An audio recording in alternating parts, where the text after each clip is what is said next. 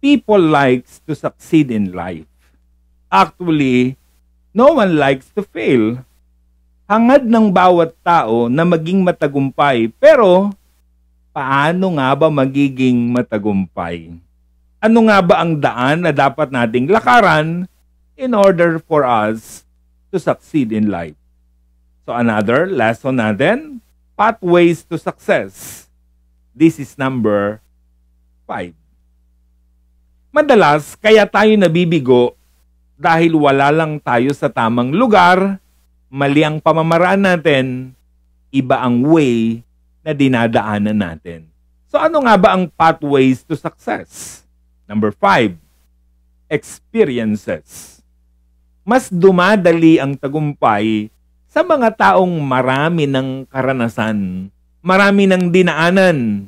Halimbawa, yung nalugi sa business, mas malaki ang chance na mag-succeed na siya next time dahil may natutunan na siya. Hindi na niya uulitin yung mali niyang ginawa doon sa una niyang business. Natuto na siya sa experience niya. Yung bumagsak sa board, sa let, sa anumang exam, mas malaki na ang chance na pumasa na siya sa susunod. Kasi may natutunan na siya. Yung hindi natanggap sa trabaho, sa susunod matatanggap na yun. Sa susunod niyang apply, makukuha na yun. Kasi alam na niya ang gagawin sa susunod. Malaki ang naitutulong ng mga karanasan natin para magtagumpay tayo sa buhay. Malungkot yung nadapa ka. Nalusot ka ng dalawang beses, tatlong beses sa parehong kanal. Ibig sabihin nun, hindi ka natuto dapat tinandaan mo na na may kanal doon, may butas doon. Halimbawa, ibang-iba ang pagpapahalaga sa pera ng mga taong laki sa luho at laki sa hirap. Yung mga naka-experience ng hirap at ang mga naka-experience ng puro ginhawa, magkaibang magkakaiba yan pagdating sa pera. Hindi marunong manghinayang ang taong lumaki sa ginhawa pero yung mga laki sa hirap, bawat butil, bawat sentimo, mahalaga sa kanila kasi danas nila ang hirap.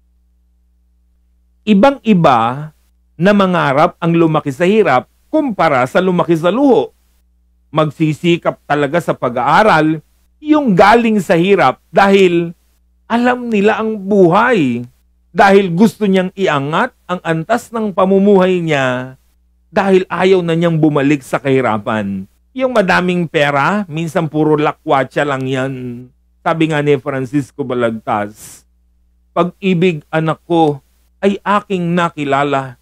Hindi dapat palakihin ng bata sa saya at sa katuwaan kapag namihasa, walang hihinting ginhawa.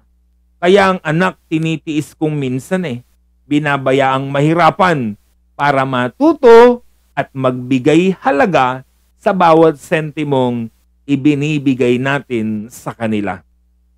Do you know Samson? Isang napakalakas na tao. Kayang-kaya niyang talunin kahit isang daan o isang libo. Kayang-kaya niyang mag-isa. Kaya niyang talunin ang mabangis na leon. Ganun siya kalakas. Pero bumagsak, natalo, binulag, ginawang alipin at ang ending namatay.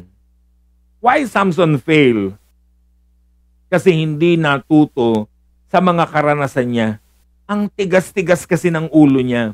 Yung mga babaeng pinipili niya, yan ay mga hindi niya kalahi at yan ang mga nagdadala sa kanya sa pagdurusa. Kaya naman, yung mga babaeng ginusto niya, yan ang nagdala sa kanya sa kapahamakan at ang pinakahuli ay sa Dila- si Delilah, ang naging sanhi ng kanyang kabiguan.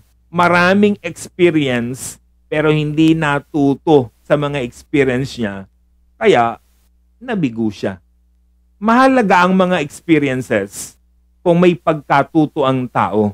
Sabi nga, everything you go through grows you. Listen, hindi ginawang pastol ng Diyos si David nang walang dahilan. kailangan niyang ma-experience how to lead dahil gagawin siyang hari. Yung experience niya ng pagpapastol ay ginamit niya to lead Israelites. Hindi hinayaang maging alipin, makulong, magutom at magdusa si Jose nang walang dahilan dahil gagawin siyang gobernador sa Ehipto para iligtas sa taggutom ang kanyang mga kalahi. Ikaw, hindi ka bumagsak, hindi ka nagfail, hindi ka nabigo ng walang dahilan. Nararanasan mo yan dahil inihanda ka ng Diyos sa tagumpay para sa iyong buhay. Wait ka lang. Sabi nga, your experiences in life are the foundation of your success. Kailangan nating madapa. Kailangan nating matalo. Kailangan nating malugi. Kailangan nating mabigo paminsan-minsan para may matutunan at yung mga natutunan natin, yan ang magdadala sa atin sa tagumpay. Kawikaan 22, 20 at siyam ang mahusay magtrabaho, higit kanino man, hindi alangang isama sa hari.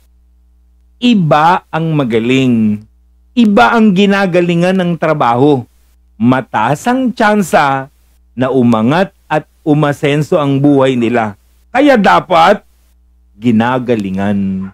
Kaya ang sinasabi ni Haring Solomon, kung gagalingan mo, kung pagbubutihan mo ang iyong trabaho, hindi ka mananatiling alila.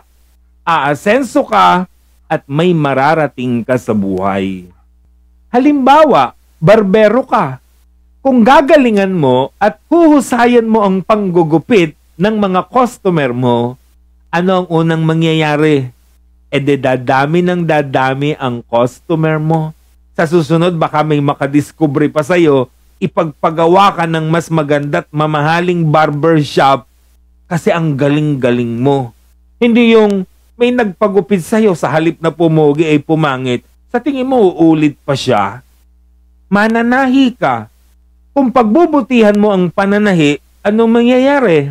Dadami ang customer mo. Hindi yung may tinahi ka, pero ang pangit ng gawa mo, sa tingin mo, uulit pa sila driver ka, ginalingan mo, edi lagi kang aarkilahin.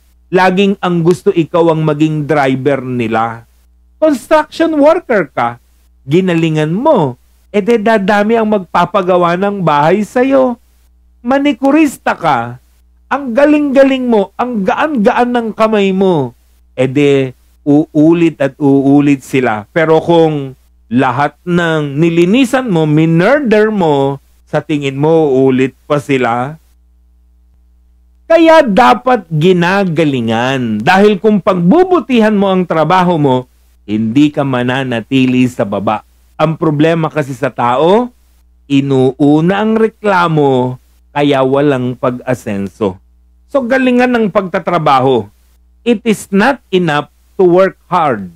We need to work well.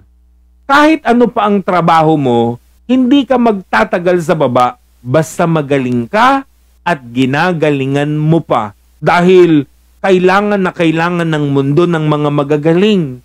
Pinapirate pa nga ang mga magagaling. Working well could set you free from want, from bondage and poverty. Ito ang magiging ticket natin sa pag-asenso. Kaya work well. Nakakalungkot yung may trabaho na natanggal pa kasi hindi ginalingan. May trabaho nga pero hindi umangat, namatay na siyang naroon sa babang posisyon. May trabaho na pero nawala pa. Nagsara pa ang business kasi hindi sinarapan ng luto. Tatandaan nyo, dapat sa pagtatrabaho, ginagalingan mo.